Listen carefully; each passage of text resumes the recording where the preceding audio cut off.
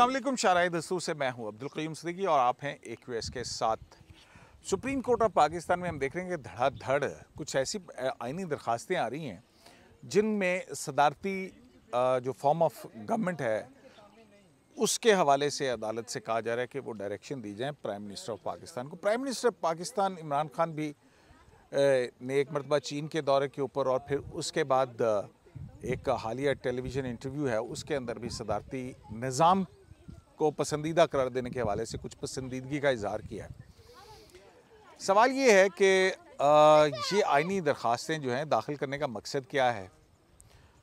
और कौन कौन ये दाखिल कर रहा है? और इस वक्त का जो पाकिस्तान का या सुप्रीम कोर्ट ऑफ़ पाकिस्तान के जो बड़े बड़े फैसले हैं जो स्टूडेंट्स जिसको कहते हैं, वो सदारती निज़ाम के हवाले से आने वाले या इस जो हमारा 1973 का कॉन्स्टिट्यूशन है इस हवाले से बहुत सारे सुप्रीम कोर्ट ऑफ़ पाकिस्तान के फैसले मौजूद हैं। लेकिन उन फैसलों की मौजूदगी के बावजूद ये ऐसी कोशिशें क्यों की जाती हैं?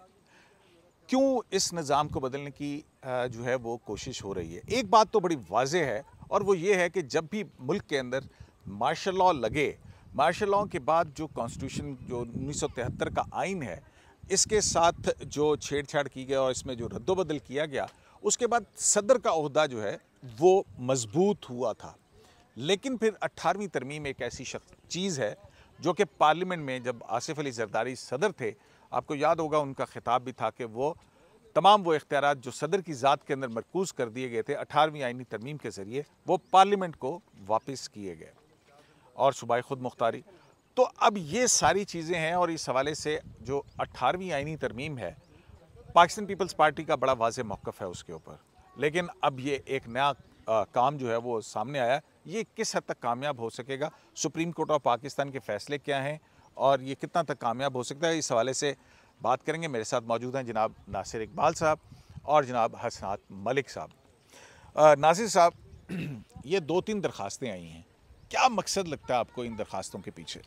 क्यूम साहब ये तो अंडरस्टूड है कि चूँकि आपकी मर्ज़ी की गवर्नमेंट गवर्नेंस नहीं चल रही अपोजिशन आपको जैसे ख़ास तौर पे जो सिंध गवर्नमेंट है वो हम्म। चूँकि आपको प्रॉब्लम कर रही है वो आपके सब सर्वियन नहीं है तो ये लेकिन मुझे कयूम साहब एक बात आपको याद होगा कि लेट हफीज़ ज़्यादा साहब होते थे जिनसे आपकी भी बड़ी दोस्ती थी बड़े मशहूर और बहुत बड़े वकील थे अब वो नहीं है इस दुनिया में। वो कहा करते थे कि जो सेलियन फीचर है ना या बेसिक जो salient feature of the constitution है वो सिर्फ़ कॉन्स्टिट्यूंट असेंबली ही अमेंड ला सकती है। उसमें तब्दीली तब्दीली ला सकती है। तो कॉन्स्टिट्यूंट असेंबली तो ये present assembly is not a constituent assembly number number तो आपको याद होगा कि जब मार्शल लॉ लग, लगाया था मतलब आप ये कह रहे हैं कि शरीफुद्दीन पीरजादा साहब की जो इंटरप्रटेशन थी कि भाई कॉन्स्टिट्यूशनल अमेंडमेंट के ज़रिए आप आइनी ये सिस्टम जो है उसको तब्दील नहीं कर सकते। ये मतलब ये उनका कहना था कि कॉन्स्टिट्यूंट असेंबली ही कर सकती है। हम्म। नंबर एक। नंबर दो आपको याद होगा कि जब परवेज़ मुशर्रफ साहब ने मार्शल लगाया था तो सुप्रीम कोर्ट में एक पटिशन आ गई थी जफ़र अली शाह की जो बड़ी मशहूर पटिशन है। मेरे ख्याल में वो ग्यारह मेंबर बेंच था। मैं थोड़ा सा हेजी है मुझे उन्होंने उन्होंने उन्होंने तीन साल दिए थे परवेज़ मुशरफ को और ये भी कहा था कि आप अमेंडमेंट भी कर सकते हैं। लेकिन उन्होंने कहा था आप तीन चीज़ों को हाथ नहीं लगाएँगे। आप बेसिक फीचर को चेंज नहीं करेंगे। Basic feature of the constitution is democracy ठीक है? Parliamentary form of parliamentary form of government तो पार्लियामेंट्री फॉर्म ऑफ़ गवर्नमेंट को उन्होंने कहा था कि आप इसको चेंज नहीं करेंगे। दूसरा उन्होंने फंडामेंटल राइट्स को आप इसमें को को डिस्टर्ब नहीं करेंगे। तीसरा ये इंडिपेंडेंस ऑफ़ जुडिशी और से जो जो ब्लेंडेड विद इस्लामिक प्रोविज़न और इन द कॉन्स्टिट्यूशन इन चीज़ों को हाथ नहीं लगाएँगे। तो मुझे नहीं समझ आ रही कि पटिशन बड़े मज़े की है। पटिशन आपने भी पढ़ी है, उसमें लिखा है कि प्राइम मिनिस्टर साहब एक रेफरेंडम कराएँ। और रेफरेंडम उसमें तो वो कह रहे हैं कि जनाब एग्जेक्टिव क्योंकि मुकन्ना का हिस्सा है और ये आपस में गलत मलत हो गए इख्तियार की तकसीम नहीं हो रही है। और जो है ना, ये फेलियर ही फेलियर है। जो सियासतदान हैं वो करप्ट हैं गवर्नेंस का हाल बुरा है। कहीं इतफाक राय नहीं हो सकता लेजिस्लेशन भी नहीं हो रही है। वो उन्होंने तो बड़ी एक बलीक सी सूरत हाल पेंट की है ना कयूम साहब देखें सिस्टम को चलने दें। सिस्टम में आहिस्ता आहिस्ता इसी तरह वो इम्प्रूवमेंट्स होती रहती हैं। ये कोई तरीका नहीं है कि आपको पसंद नहीं है एक गवर्नमेंट तो आप एक सिस्टम ही चेंज कर दो। ऐसा नहीं होता। आपको याद है ये नाइनटीन ये तो नहीं होता लेकिन, लेकिन आपके ख्याल में सुप्रीम कोर्ट के अंदर इस आइनी दरख्वास्त के कामयाब होने के या कितने चांसेस होंगे? यार कयूम साहब मुझे एक बात समझ में आया कि 1973 यूनानिमसली अडॉप्टेड कॉन्स्टिट्यूशन है। दोबारा आप यूनानिमिटी ले आएँगे अपोजिशन पार्टीज़ मान जाएँगे। ये बहुत बड़ा सवाल है।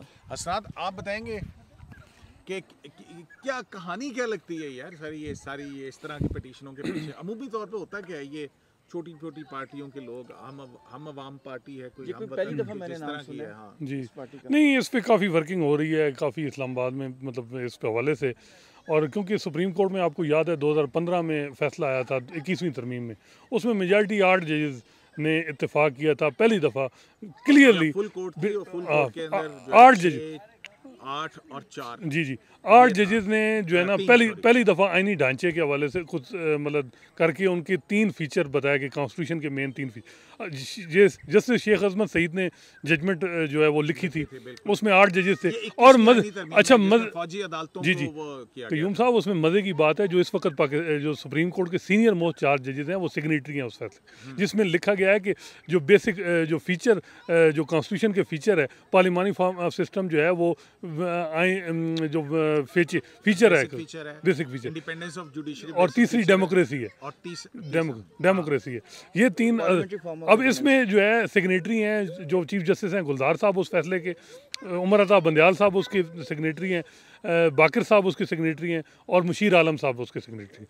जस्टिस काजी फाइसा और जस्टिस जवाद खाजा ने तो कॉन्स्टिट्यूशन अमेंडमेंट ही उड़ा दी थी। मतलब वो भी बड़ा एक ज़बरदस्त कि जिसमें सुप्रीम कोर्ट ऑफ़ पाकिस्तान ने कॉन्स्टिट्यूशनल अमेंडमेंट के ऊपर जुडिशियल रिव्यू का इख्तियार हासिल किया। जी। चौदह जजेस ने मेंटेनेबल करार दिया जी जी जी जी। लेकिन देखिए देखिए हमारा लेकिन वो जो चार जजेस थे जिसमें शेख साकिब निसार साहब और उस वक्त के साकिब निसार साहब जब वो कहते थे कि हमारी जुडिशरी है बड़ी यूनिक उसमें बड़ा सबसे बेहतरीन जो नोट लिखा था वो साकिब निसार साहब ने उस पूरी इक्कीसवीं तरमीम में लिखा।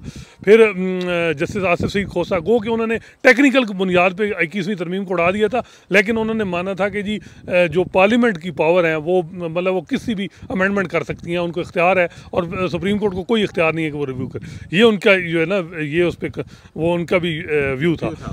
तीसरे थे अ, जस्टिस नासरुल मुल्क और चौथे थे इकबाल अमीजुररहमान साहब जिन्होंने उनको एंडोर्स किया था। का जो भार है हाँ, आप देख ही नहीं सकते जी। तो सिंपल दो अब देखिए पाकिस्तान के आइन में आर्टिकल 238 और दो भी हैं जिसमें है कि जी कोई कॉन्स्टिट्यूशन अमेंडमेंट किसी कोर्ट ऑफ़ लॉ में चैलेंज नहीं हो सकती। लेकिन इस हवाले से बहुत सारी 211 भी है इसके अलावा और भी हैं।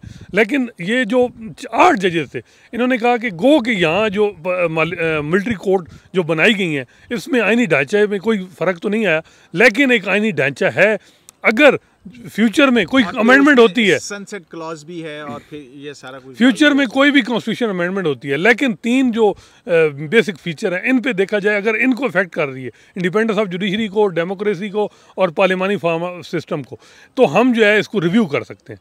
तो बेसिक हडल जो है वो पाकिस्तान वो जो सुप्रीम कोर्ट का फैसला है आठ जजेस जिसमें तो चार सिग्नेटरी गहरी इसलिए हो जाती कि डेमोक्रेसी तो presidential form of government is also a democratic process ji. But साथ ही पार्लियामेंट्री फॉर्म ऑफ़ गवर्नमेंट कह के तो ये रास्ता बंद हो गया। जी जी बिल्कुल हो गया। और ना, देखें कयूम साहब ए- ए- मुझे याद आ रहा है आप ये सुप्रीम कोर्ट में आते रहे। Sajjad Ali justice chief justice आप मेरी रोज हाजिरी क्यों लगवाते इसलिए कि आप यार सीनियर अच्छा। आप। अगर आप अपने आप को नहीं मानते तो मैं ठीक है। लेकिन चीफ जस्टिस सज्जाद अली शाह साहब के ज़माने में भी इस तरह की पिटिशंस आई थी और उसमें ये होल्ड हुआ हुआ है। कि जो कॉन्स्टिट्यूशनल जो पार्लियामेंट्री फॉर्म ऑफ़ गवर्नेंस है वो basic feature of the constitution है। ये अनटचेबल है। ये उस ज़माने से होल्ड हुआ है और ये जो अभी जो हसनात साहब ने जिसका हवाला दिया है जिस जजमेंट का ये उन्होंने उसी पर रिलाई किया हुआ है।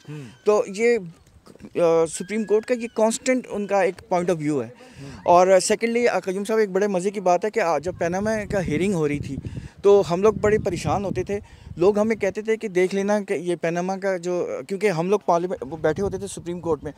तो जो हेयरिंग हो रही थी उसके बेसिस पे हम कहते थे कि यार बड़ा डिफ़िकल्ट है एक प्राइम मिनिस्टर को घर भेजना इस पिटीशन के ऊपर। लेकिन कुछ लोग कहते थे देख लेना प्राइम मिनिस्टर जाएगा। वही लोग अब मुझे कह रहे हैं देख लेना पार्लियामेंट्री ये presidential form of government introduce हो जाएगी। और ये इसमें बड़ी मज़े की चीज़ है कि जो मांगा गया है वो ये है कि प्राइम मिनिस्टर पाकिस्तान को डायरेक्शन दी जाए कि वो रेफरेंडम रेफरेंडम करवाएँ देखिए सदारती रेफरेंड निज़ाम हम के सही बात देखें इस तो वक्त हसनात अगर फ़र्ज़ करें मान भी लेते हैं कि जनाब सुप्रीम कोर्ट ये ये petition Bon the fruit summer our हो गई है ठीक है? प्राइम मिनिस्टर ऑफ़ पाकिस्तान को सुप्रीम कोर्ट डायरेक्शन दे देती है। जी। तो उसके बाद क्या होगा? रेफरेंडम होगा रेफरेंडम का वही हाल होगा जो 2000 में हुआ था रेफरेंडम साहब। किस सवाल का सवाल क्या होगा? कि आप सदर की निज़ाम आप- नहीं नहीं क्या वो जियाउल हक जैसा रेफरेंडम होगा कि अगर आप मुल्क में इस्लामी नफाज चाहते हैं तो इसका मतलब आपने पाँच साल मुझे सदर मुंतखब किया। नहीं। या ये होगा कि अगर आप मुझे अगर आप निज़ाम की बात कर रहे हैं सुने तो सही ना। अगर आप मुल्क के अंदर सदारती निज़ाम चाहते हैं तो इसका मतलब है कि आपने मुझे पाँच साल के लिए सदर मुंतखब किया।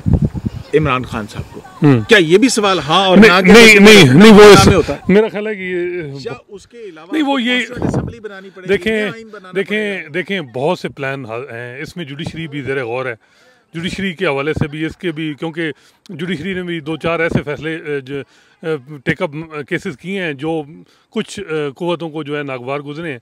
तो मेरा ख्याल है कि जुडिशरी का भी हवाले से भी कुछ आप कह रहे हैं कि जो अभी एक्सटेंशन का मामला था वो या जो भी अब बहुत सी चीज़ें हैं देखें तो मेरा ख्याल है कि उन्हें पता है कि जुडिशरी जो है ना जुडिशरी इसको भी थोड़ा सा ना इसको भी कंट्रोल इसमें लाना होगा।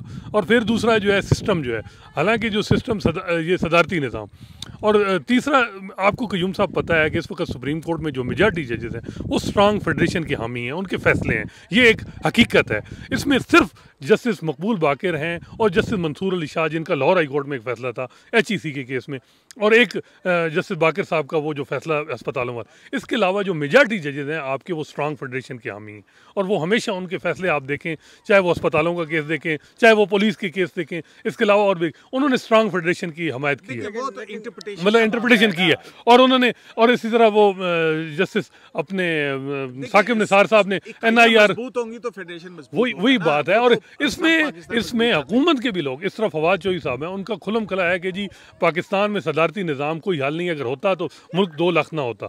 ये सदारती निज़ाम कोई हल नहीं है और अब कहीं ये जो निज़ाम है बड़ा मज़बूत है। अब देखें कोई भी देखें ना अब जुडिशरी है वहाँ भी इतने बड़े बहुत से केसेस पेंडिंग हैं तो वहाँ क्या हम कहें कि सदा जुडिशरी में भी और कोई निज़ाम ले आए कि जुडिशरी उस तरीके से परफॉर्म नहीं कर या पार्लियामेंट में भी उस तरह परफॉर्म नहीं कर रही तो उसमें ले आए। मेरा ख्याल है कि सबको थोड़ा थोड़ा टाइम देना चाहिए और अपने रवैयों को तब्दील करना चाहिए। जो रवैये हैं चाहे वो जुडिशरी के हैं चाहे वो पार्लियामेंटेशन पॉलिटिशियंस के हैं चाहे वो एस्टेब्लिशमेंट के हैं। रवैयों को कयूम साहब एक बात मुझे बताया अगर प्रेजिडेंशियल फॉर्म ऑफ़ गवर्नमेंट आते इसका मतलब है कि इलेक्टेड लोग फिर तो नहीं आएँगे। फिर तो प्रेजिडेंट साहब जिसको चाहेंगे एडवाइज़र एज एडवाइज़र या जो स्पेशल असिस्टेंट या इस तरह की चीज़ें ही होंगी जिस तरह बाहर के मुल्क जैसे अमेरिका में ट्रंप प्रेसिडेंट आता है तो वो अपनी एक पूरी टीम लेके आती है। मॉडल है ना एक फ्रेंच जो सदारती मॉडल है एक जर्मन सदारती मॉडल है एक अमेरिकन सदारती मॉडल है। नहीं तो मुझे ये बताएँ है जर्मन है और लेकिन ये बताएँ कि हमारे टर्की के अंदर भी अब तो वो हाँ। लेकिन टर्की की भी मिसाल दी है ना उन्होंने टर्की की भी है। अपने सिस्टम को चेंज किया है बिल्कुल ईरान ईरान का भी उन्होंने उसका बताया लेकिन मेरा ये पूछने का मतलब है कि जो रिप्रेजेंट। ये जो रिप्रेजेंटेटिव्स हैं हमारे फिर उनका क्या बनेगा? तो वो आ, अभी तो ये इलेक्टेड रिप्रेजेंटेटिव है। उसके अंदर कांग्रेस तो है ना।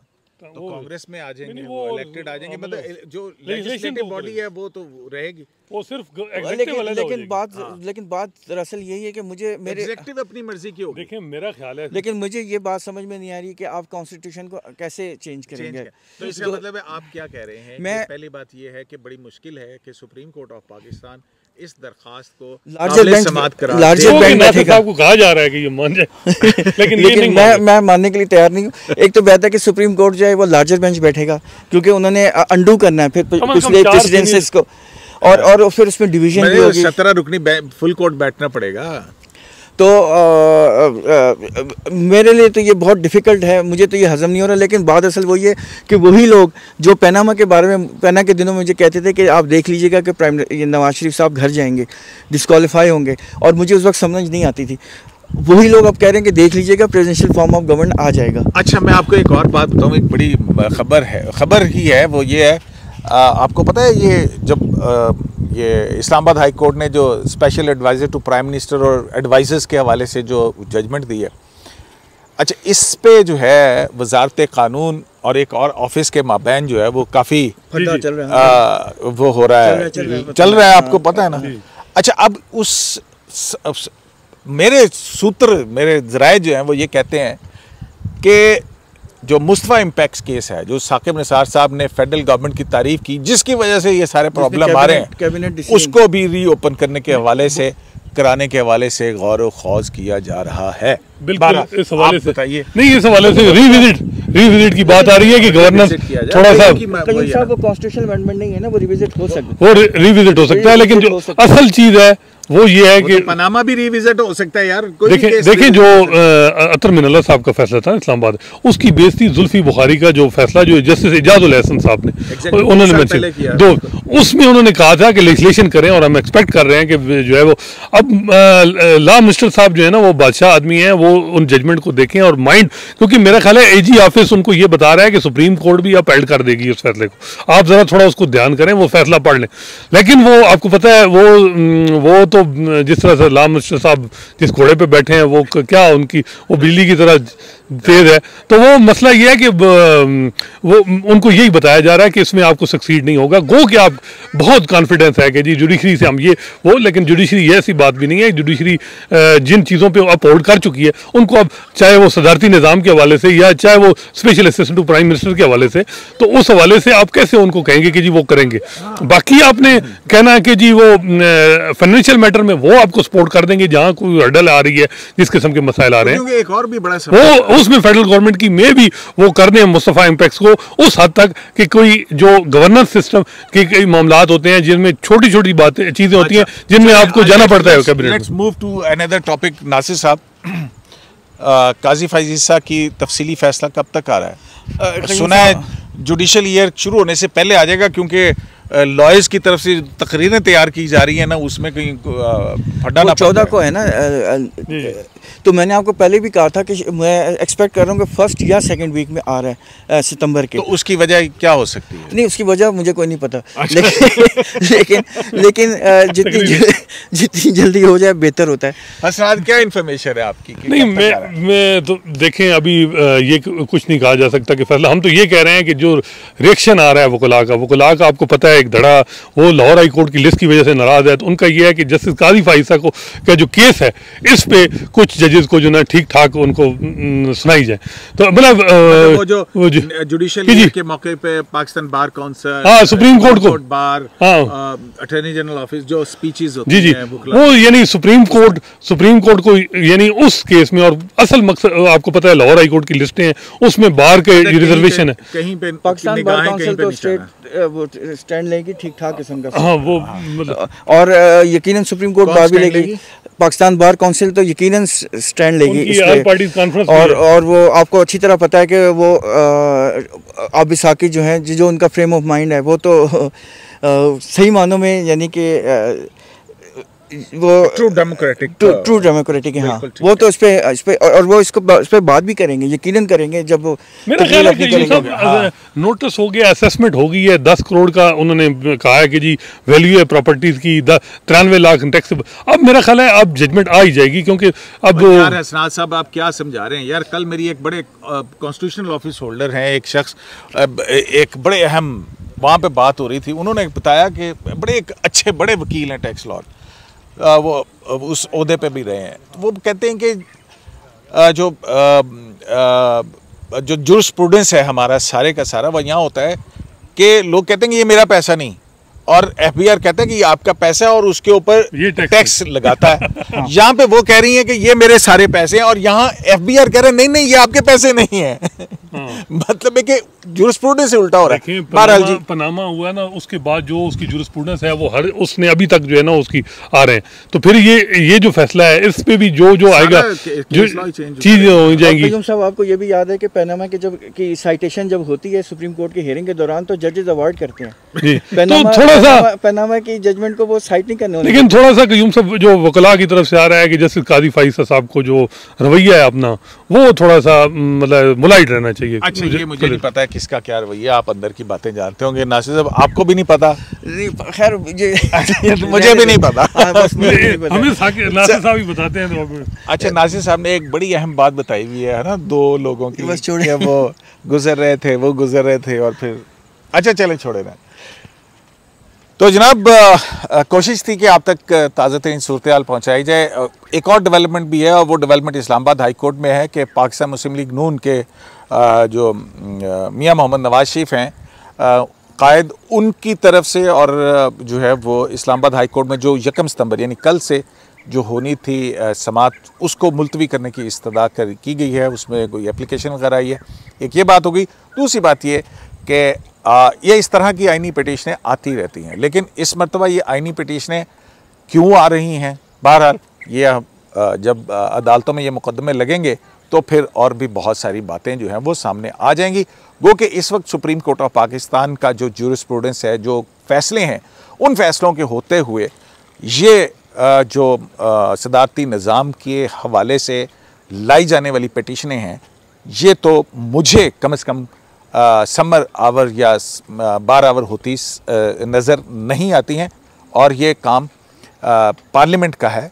पार्लियामेंट अपने बहस करें, कौन सा निज़ाम चाहिए। अवाम के मुंतखब नुमाइंदे फ़ैसला करें कि उनको किस किस्म का और कौन सा निज़ाम चाहिए और पाकिस्तान के अवाम ये फ़ैसला करें। और ये पाकिस्तान के अवाम उसके मुंतखब नुमाइंदों के ज़रिए ये ओपन डिबेट के साथ हो। इसमें अदालतें इस किस्म की इंटरवेंशन करेंगी तो मज़ीद प्रॉब्लम जो हैं वो मुल्क के अंदर पैदा होंगे। शराय दस्तूर से अब्दुल करीम सिद्दीकी को एक लाइव से इजाज़त दीजिए, अल्लाह ने के बाद।